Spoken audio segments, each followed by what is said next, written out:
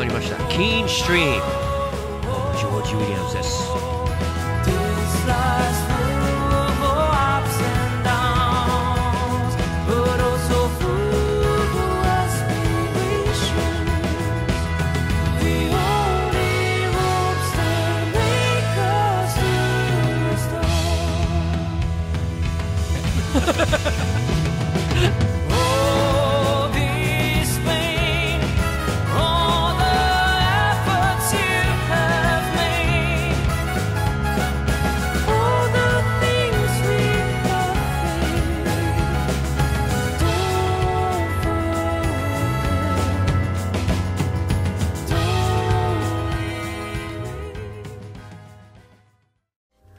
フェスティバル TV 今回も始まりましたそしてゲストはですねトーイングスのコニーさんですはい、よろしくお願いしまますす。嬉しいねこうやっていや、めちゃめちゃ嬉しいです。あのラジオではねうん何度か一緒にそうですね。ははい。でも映像でこうやって一緒になるのは初めて、初めてじゃないですかね。髪型 鮮やかですねいやー、初めてこんな。あのずっと金髪ですけど、初めてこんなビビッドな色入れました。色はどうしてこの、まあ、僕すっごい最高だと思う、春を感じる。でもな何があってピンク？いやー、なんかピンクにしようとは思ってたんですけど。あの春が来るとちょっとやっぱり、あの浮かれた気分になりたいからこういう色入れたいんですけど、ちょっと思いつきで根元をあの金髪のままでうん。やってみようかなと思ったらなんかもう桃？桃？桃みたいな感じになってでしかも染めた次の日がひな祭りだったんではタイミングが良かったです。あの周りの反応はどうですか？あみんな最初一瞬黙って似合ってるって言ってくれます。そう俺もなんか昔例えばあのいいい一般的なことをやらないと一般的と違うことをやると相相手のリアクションがすごく面白くて昔あの これ 20, 20年前にあのマニキュアとかするのがすごい好きでメイクとか。えー、でやっぱコンビニに行って例えばじゃあお金を払うときにこうやってうん手をあこうやってポーンって出した時のその店員さんの表情を見るのすごい好きで 相手のリアククションションはいはいはいはいで今日は、OK、ライブをやってくるんじゃない？はい。で僕ね。はい。あのトーイングス本当すっごく好きなバンドで。ありがとうございます。あのトーイングスのあの,、はいあの音ってどうできたんですか？どうどうたどり着いたんですか？もうあの本当に単純に今まで私が聴いてきた音楽のもう本当にミックスしたものでそれをさらにトーイングスの3人でスタジオで合わせてみたらあのもっとこうん。うなんていうんですかねいい意味でなんかブラッシュアップされるような感じ。でそれで気づいたらそうなってたっていう僕もちょっと懐かしく感じるっていうのは、もしかしたらあの世代は全然違うけど、い。僕が好きだった音楽はコニーさんも好きだったのかなって、うんでも懐かしく感じながらやっぱ新しいし、ん。だからすすごいいろんなものをちょっと感じて何回聴いてもうん。何回聴いても飽きないですね。でもどういう音楽を聴いて育ったんですか？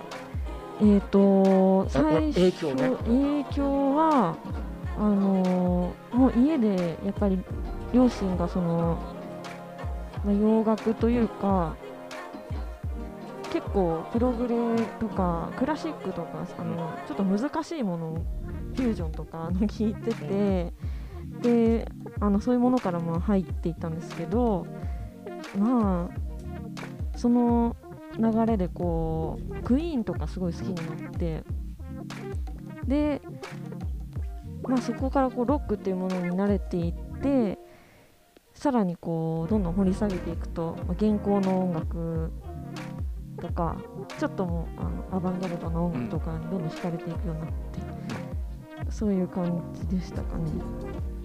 確かにそのはいトーイングスってアバンギャルドのエッセンスもあるけど、はいはいはい超耳に残る。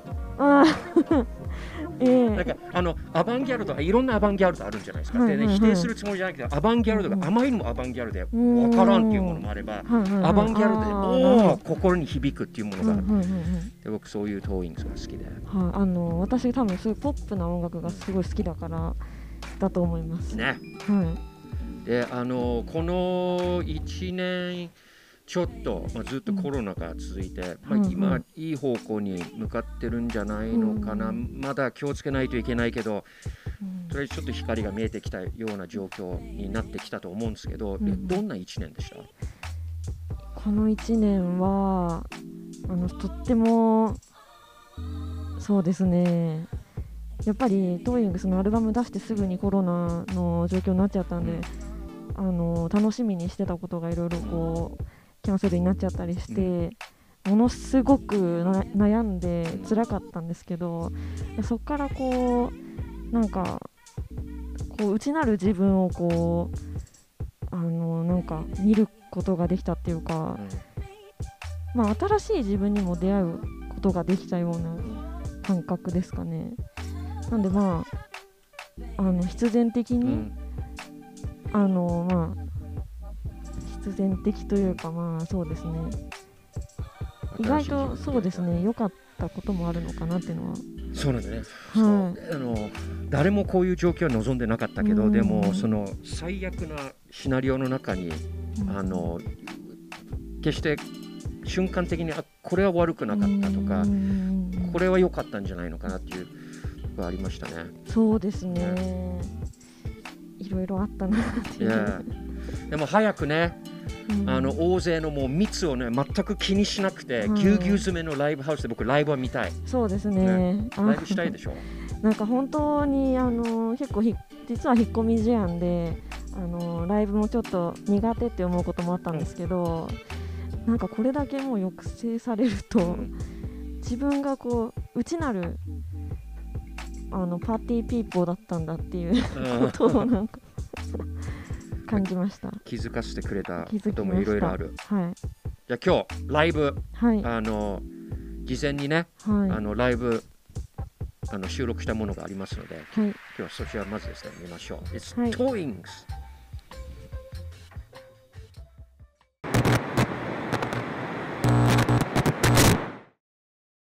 フェスティバル TV オンキーストリームをご覧の皆さん、こんばんは、トーイングスです。「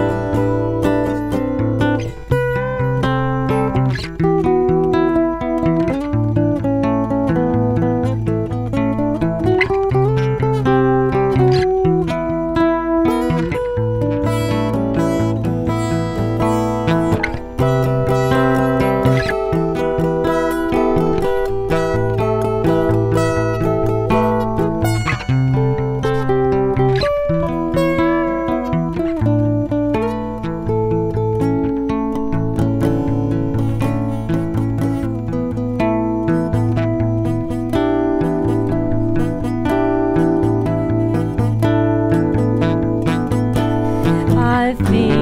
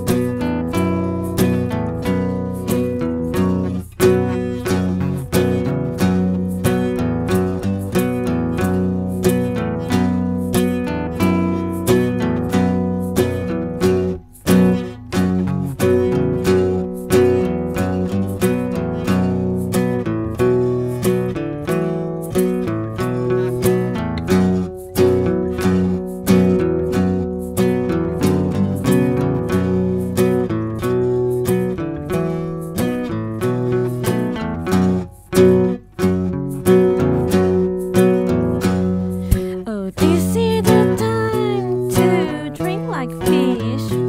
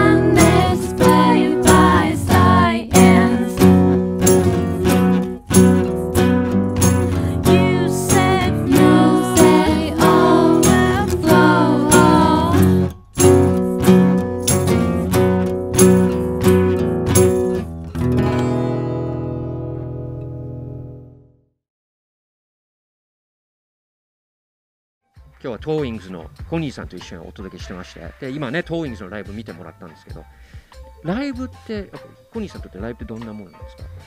ライブはまだ自分の中でこうあの、まあ完成しきってないというかあのこれからどんどんどんどん良くしていきたいなっていうふうに研究しているお段階ででもきっとこれは終わりのないうん。研究なんだろうなと思ってます。